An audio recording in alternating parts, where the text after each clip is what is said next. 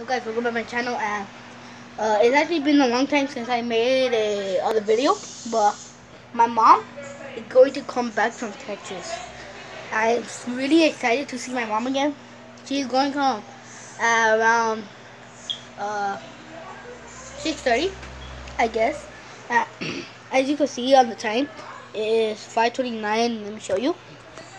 5.29.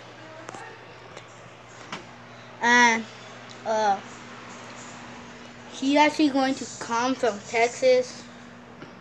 Uh, I'm really excited too because I haven't seen my mom for a long time. It's gonna like I saw her twice only. She came to visit one time and when she left we like I started to cry because it been it's gonna be a long time till she's going to come back. I mean like she stays here for nine days and leaves. And it's kind of sad because I don't even get to see my mom all the time. She's not here to help me.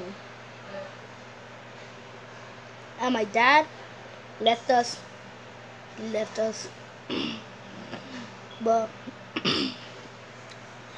my mom's gonna come back today at six around six thirty I guess. And I'm I'm actually gonna see her my third time only.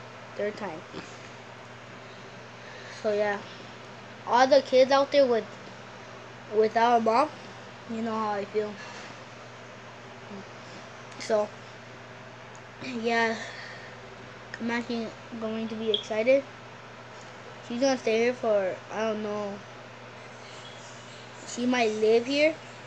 If she lives here, that will be good. So yeah, guys.